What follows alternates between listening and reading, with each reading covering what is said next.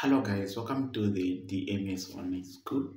In today's video, I want us to look at um, these questions that are coming from um, Mathematics Paper 1. Okay, these are some of the simplest questions that come under Mathematics Paper 1 and um, you cannot afford getting these ones wrong because they come as uh, simply warm up or rather free marks and therefore you need to understand how to solve them and therefore I encourage you to watch this video up to the end and then give it a like and let me know also in the comment section if this lesson is going to be helpful to you. So without further ado, let's go straight into this lesson. All right.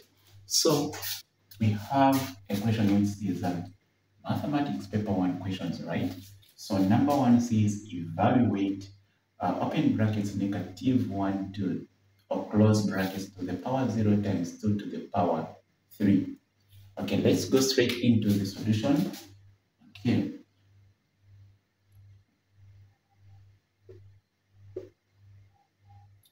So we are told to evaluate open brackets negative 1 to the power 0 times uh, 2 to the power 3.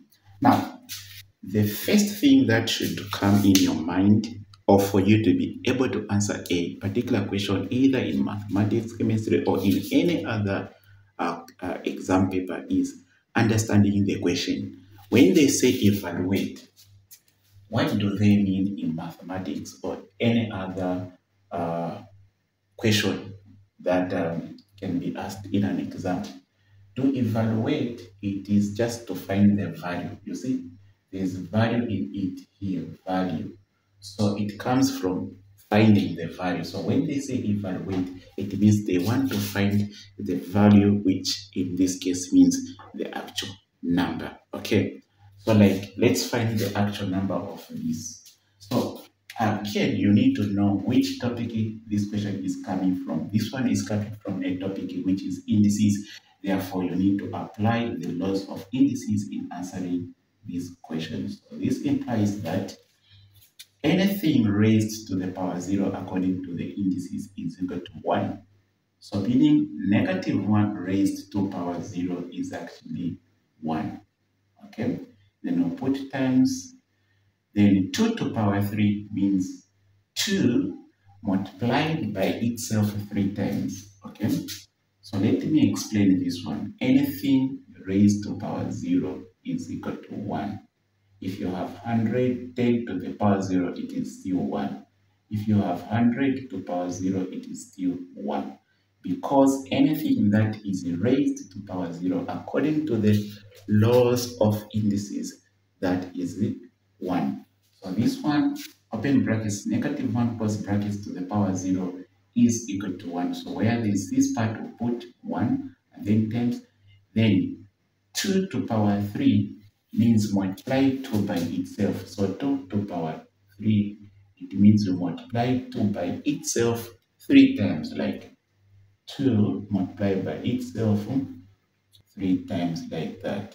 Okay, that's what this means. So here you can simply do 2 times 2 times 2. Okay, so doing that will actually show the examiner that you know what you're doing. Okay, so once you do that, then you say now, this implies that you can even say, okay, 1 if you want, and then you say 2 times 2 times 2, which will give you 8.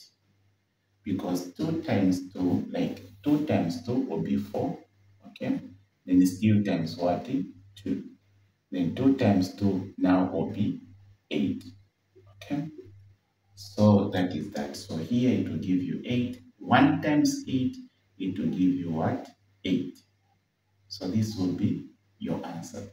So just as I said, you have seen, there are few steps involved in answering this question. So it is a free mark which you don't need to afford to lose in an exam. Okay, so let's answer the other one.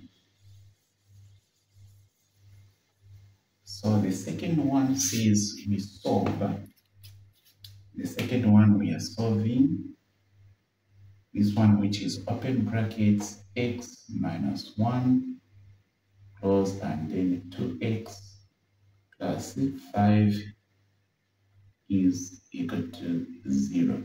So again, here they're saying solve. So whenever you find a question saying solve, it is just asking you to find the value of the variable. So they, when they say solve the equation, this is an equation, they want you to find the value of the variable. What is a variable? A, vari a variable is any letter in an equation. Like we have a letter x here.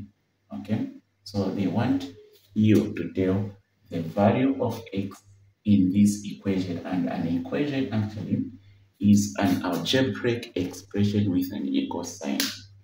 So this has an equal sign in it, so it is an equation. So they want to find the value of x. So now, how do we do this? Now notice here we have this expression in brackets being multiplied with another expression in brackets, okay?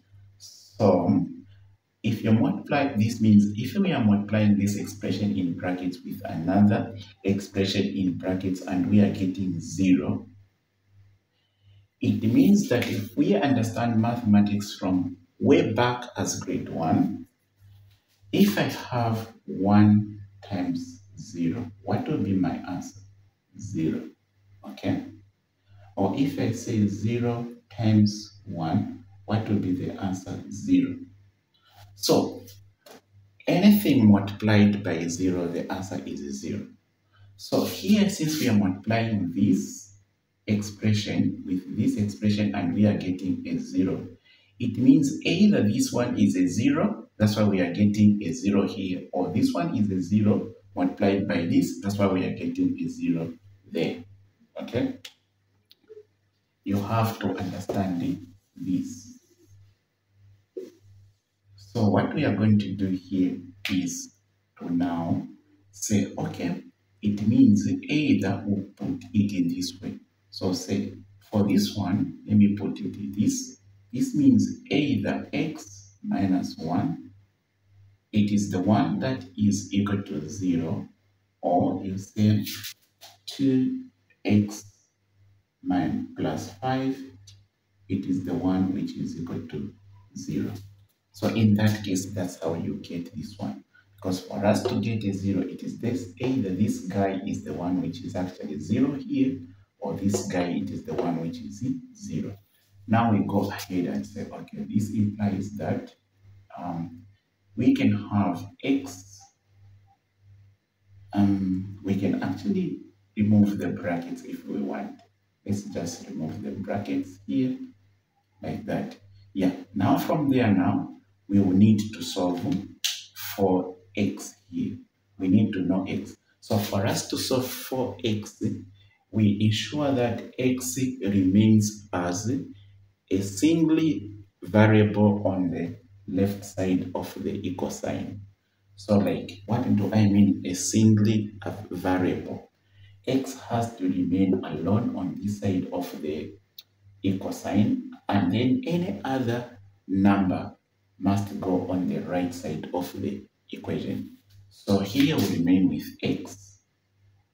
Okay, let me just put it here. So say x is equal to 0 then this one is a number must cross and come where 0 is. Okay, so when negative 1 crosses, since it is negative, when it crosses, it becomes positive like that. Okay, then you continue say or. Then here you also say the same. This term with x must remain on the other side, on the left side. So say 2x is equal to 0 then this one 5, when it crosses, since it is positive, it becomes negative 5. Then from there you say, okay, this implies that x is equal to 1. 0 plus 1, it is actually 1. Okay? Or you say, or oh, you send 2x is equal to 0 minus 5, it will be negative 5. Now, here we have already found the variable for x. It is either 1 here, then here we need also to remain with x the way we have remained with only x. So how do we do it?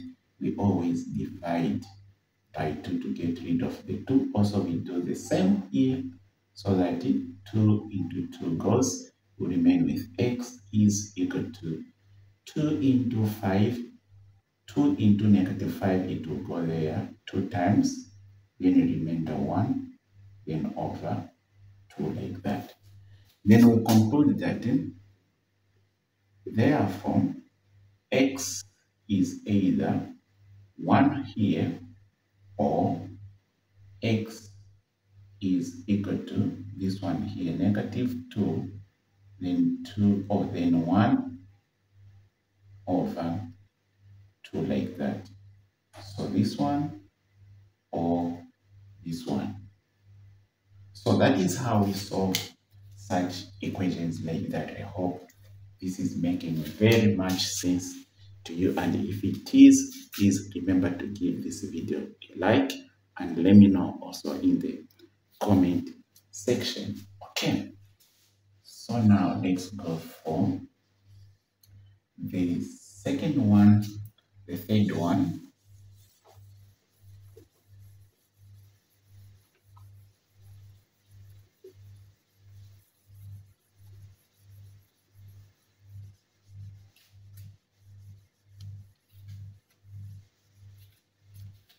The third one is saying we simplify.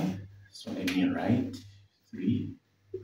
We are simplifying 4x to power 2 plus 2 y squared minus x y plus 6 x squared plus 2x y. Now, let me explain to you.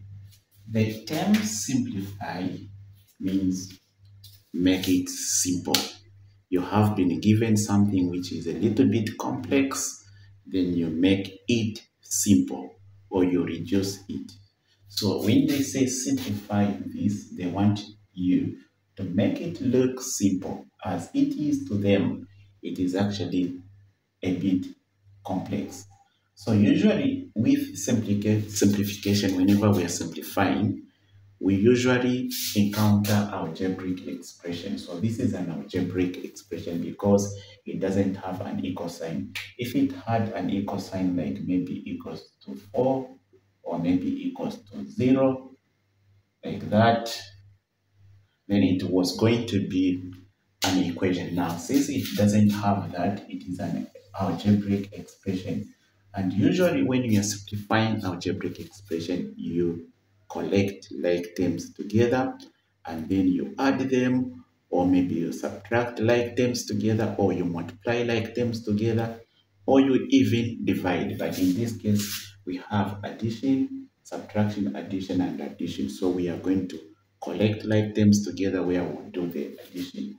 So say, okay, this implies that we look at the like terms. So see that this one is likened to that. So we put them together. So we'll write 4, okay, so this is 4x squared. Then this one, 6x squared, it has a plus here, so we'll move with a plus here, plus 6x squared. Then we'll look also for other terms that are similar. Like this is a term, it is similar to this. So pick this one which is which has a negative, so it will have negative x uh, y, then plus, this one has a plus, then plus 2xy. Then what are we remaining with? We are remaining with this one, which doesn't have anything. So this one has a plus, we'll put it at the end like 2y squared. Then after that, we will now do the addition.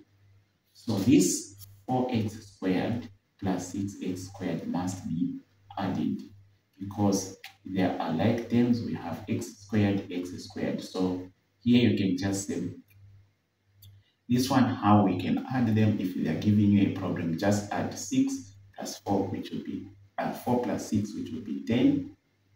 Then get this one, put it there, squared. Okay, 4 plus 6, uh, 6 which is 10, 6, this is common, add it there.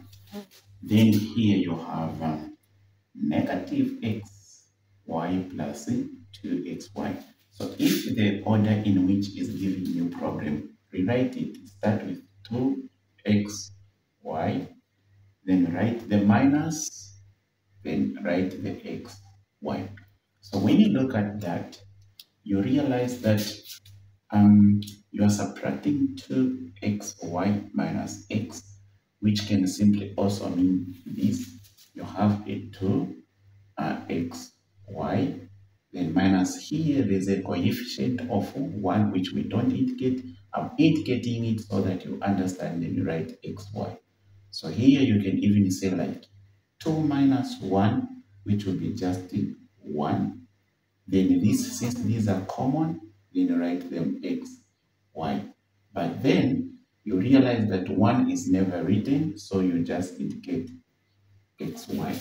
So here, so this is positive even if I've not added anything. So since it is positive, you say positive then x, y. So this one has given us x, y.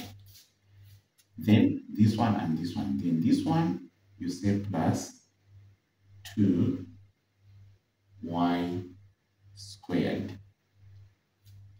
So now, when you look at um, this, you cannot simplify it further. Okay? You cannot simplify it further, and because this is not a like term to this and the, that. So these are different terms altogether. They're not likened to each other or they're not similar to each other. Therefore, this one becomes your final answer. So, all in all, you see, so simple. So mathematics is a very, very simple subject to pass, provided that you are following the concepts which are laid out in mathematics. Once you master those concepts and then you apply them during answering, you will discover that mathematics is very easy to pass. Thank you very much for watching for now. Bye and see you in the next video. Peace.